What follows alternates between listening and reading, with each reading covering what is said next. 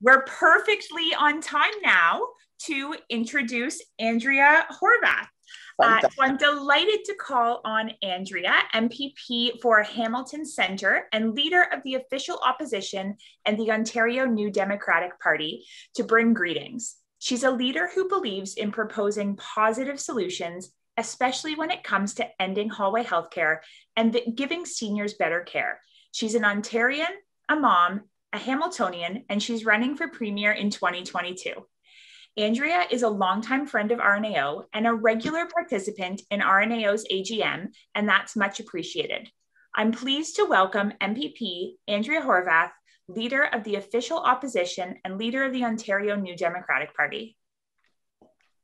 Thank you so much. Thank you so much, Morgan, for that wonderful introduction. And it's just so great to be here. Before I get into my formal remarks, though, I, I think it's important to just off the top uh, acknowledge the horrifying news of the uh, unmarked graves of uh, of uh, over 700 children, 751 children uh, in uh, Saskatchewan. it is um, something that I think we are going to have to continue to face for weeks and months to come. And uh, I think it's really important to acknowledge that uh, what's happened here in our country uh, is absolutely uh, uh, an act of genocide, a crime against humanity. And all of those children uh, who we've um, found the remains of thus far and who we will continue to find the remains of are, are people that should be should have been able to live a full life, that should have been able to fulfill their dreams, lead a full life, uh, and have um, their children and grandchildren following um, or, or, or, continuing with their uh, their legacy uh, today.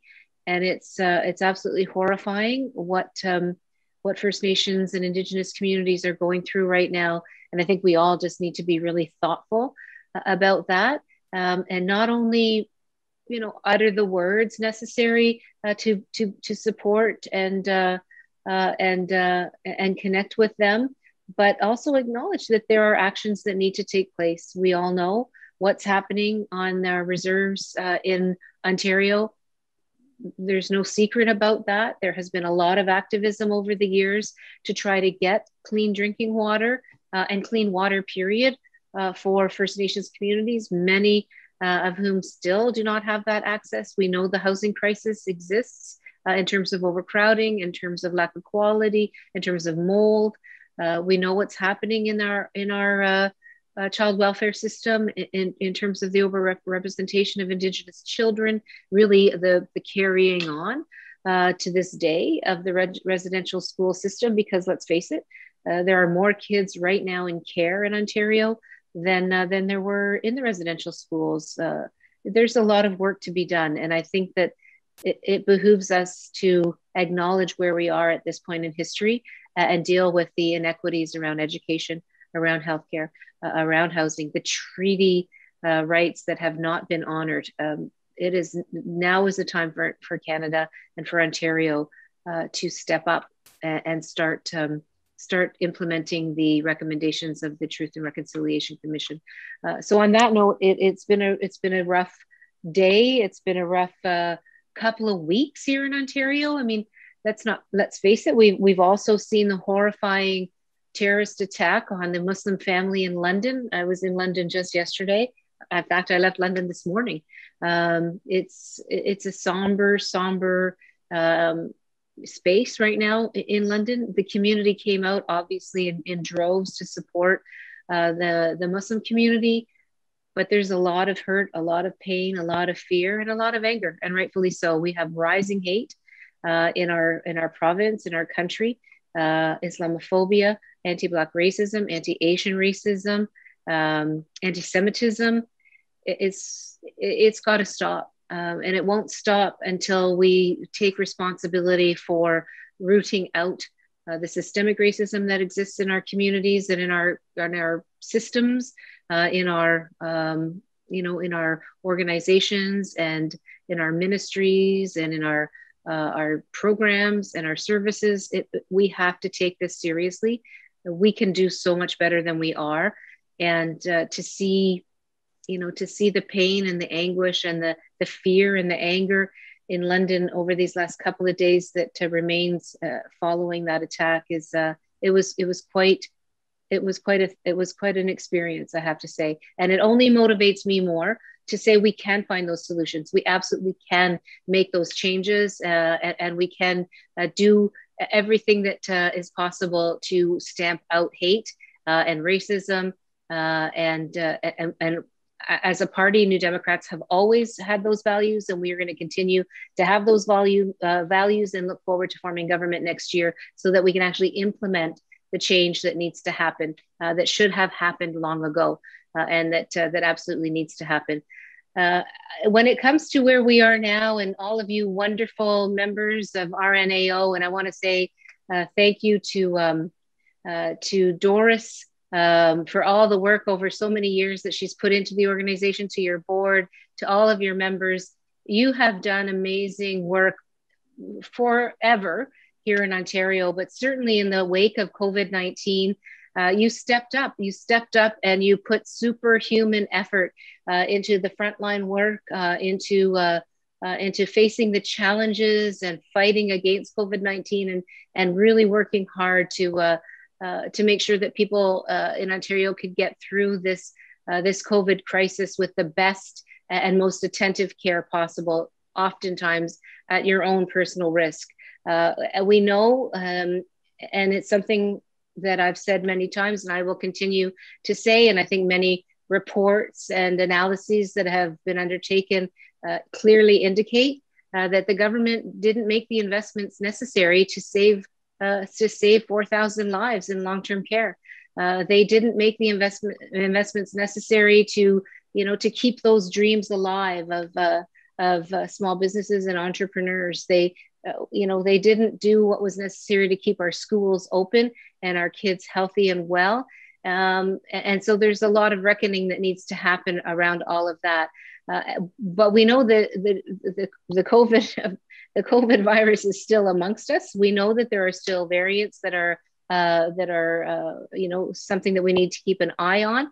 Um, but we also know that uh, that the aftermath uh, is something that we have to address, uh, and whether mm-hmm. that's the growing.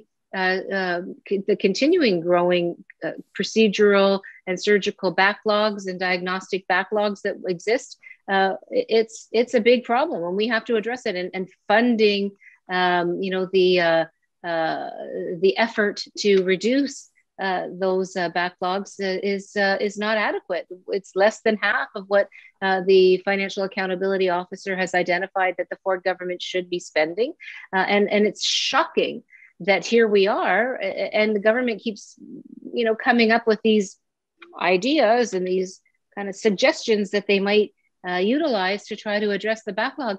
Other provinces started to address the backlog back in uh, the summer of last year. Uh, you know, BC, for example, uh, went into the third wave with 95% of their backlog in surgical and procedural uh, um, uh, patients that were waiting. 95% had been cleared by the time the third wave was upon us. That's not the case in Ontario. And, and it's going to take you, it's going to take your you and your colleagues and your your, your the members of RNAO and and all of the other health professions uh, to to help address that. But it can't be done without a plan, uh, and it can't be done without uh, the funding.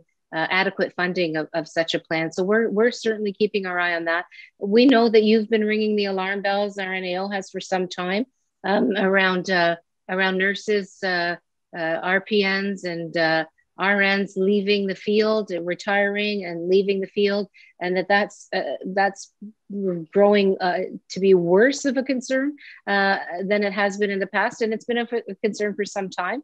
Uh, there were, I think, twenty thousand uh, nurse uh, nurses short in terms of what we needed here in Ontario just to meet the needs in in regular times, if you will, pre-COVID. But um, you know, this coming wave of early retirements post pandemic, as well as the regular retirements that were expected, it's it's a challenge that we have to you know we have to seriously address. And I don't see the government coming up with a plan in that regard. Uh, I also want to thank the RNAO because really when it comes to one of the other big public health or big health crises that we're we're also struggling with, uh, the opioid crisis, uh, you folks have been there. You've been there uh, for a while now, sounding the alarm bells, identifying the the crisis that we're in. you you all know more than I do. You all know the statistics and the the concerns of the growing opioid crisis. Some sixty percent more deaths lost to uh, uh, overdoses uh, over the 2019 statistics. That's that's frightening, and I, I can I, I, can just let you know that one of the things that I heard recently, um, you know, in the last number of months, I've been calling, uh, you know, mayors and different uh, municipal leaders just to just check in and touch base to see how they were coping, uh, and I, I can tell you that communities across the province, and you know this as well, uh, are identifying the opioid crisis as uh, as the number one concern facing their communities. Uh, and I know you've been there, as I said, for some time. Uh, we need to we need to really address uh, what's happening in our communities, and and it's happening in big cities, it's happening in small towns, it's happening in rural Ontario, northern Ontario. Uh, it's it is a crisis that is massive, and people are losing their lives because we have not uh, we have not done right by uh, those folks who are facing uh, mental health and addictions challenges. We need much, much more attention uh, to those folks and, and to the trauma uh, that they've experienced over time and they're trying to address uh, with their with their addictions. Um, there's just no doubt that that you yourselves have gone through a lot as as people on the front lines of COVID. And I I just I want to you know everybody says we have to thank the frontline workers. We absolutely do. But I think it's important to acknowledge, you know, the trauma that many of you and your colleagues have faced throughout this pandemic. Uh, you know, losing patients, losing family members, losing colleagues uh, to COVID nineteen. It has been, it has been horrifying, and all the while, uh, you have been running at full tilt, uh, and you have been asked to do things uh, uh, that um, you know that that were putting your own lives at risk. You've been asked to work in in in areas uh, and in uh, uh, in roles that maybe weren't you know weren't where you were accustomed to working.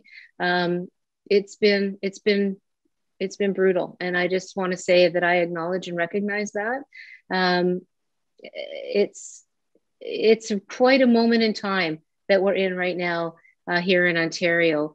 Uh, and uh, if there's anything at all that you identify that that we can do as the official opposition, that I can do as the leader of a political party, but also as an Ontarian, uh, to help you with your self care, uh, to help you and your colleagues uh, with uh, you know with with your own well being. Please, please let us know because I think that's something that um, that's often missed is the you know the acknowledgement, the recognition and the the commitment to uh, to helping uh, helping you uh, be uh, you know in the wake of everything you've done to help the rest of Ontario. Uh, I, I, guess I, I, I, guess I have to say that I really think that you deserve to have a government that has your back, and I don't think that that's what we've seen uh, in the last fifteen or sixteen months, uh, and even prior to that. it's it's been a government that's been reticent to make the investments necessary uh, to make your jobs easier uh, and to acknowledge and recognize the important work that you do, um, you know, in, in, terms of identifying upstream solutions uh, to uh, uh, to the um, you know to the health and well-being of Ontarians, and uh, it's something that you've been talking about for a very long time and unfortunately, successive governments have not uh, have not had a commitment to to making those kinds of investments. But I I want you to know that that we will be there with you and for you, um, and and we know New Democrats know uh, exactly what the messages are of the RNAO, and we we value and recognize the work of your organization. It is uh, it is it is it's received worldwide acclaim, and rightfully so. Uh, you are absolutely, um, you know, precious in, in, terms of what you bring to our province, both as as uh, registered nurses and uh, registered, registered practical nurses, but also uh, as an organization uh, in terms of the, the value that you bring.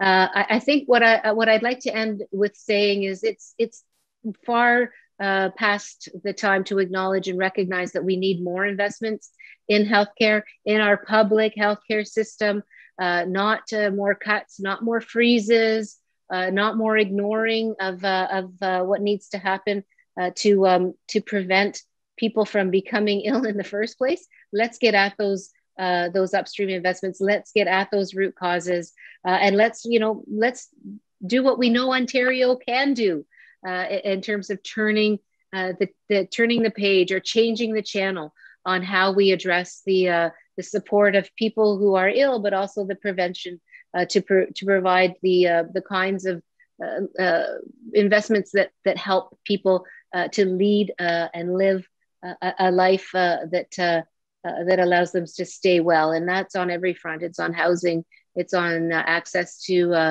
uh, to healthcare, to, to not only primary healthcare, but to uh, well-being care, there's just so much that we need to do. I want to say that uh, long term care is a big piece of uh, what we see as being uh, an important uh, shift. Long term care and home care, the investments there, the models there need to change completely. And we saw, uh, you know, for, for decades now, governments not willing to make those changes, not willing to take the profits out, not willing to make the necessary investments in the context of a significant uh, a, a, significant push that's that's necessary uh, to deal with the, the demographic changes that are coming. Uh, the aging population. I just find it unbelievable uh, that uh, that we're in the place we are right now with a hope care system and a long-term care system that doesn't provide dignity, doesn't provide choice, doesn't provide uh, peace of mind for family members, uh, nor at, at, all does it provide uh, the quality of care and the uh, uh, you know the type of care that people so so deserve. Uh, people who have built our province and and built our communities. So I'm hoping that we can change that page. we can turn that page together and make those changes together. We all know there's an election next year, and I'm certainly hoping to become the the premier that can start actually tackling uh, some of these issues with you. So let's continue to work together. Let's make sure our nurses get the support and the, the recognition uh, that they deserve, uh, that you deserve, uh, because that will bring Ontarians uh, the quality of care that they deserve. So thanks so much, everyone.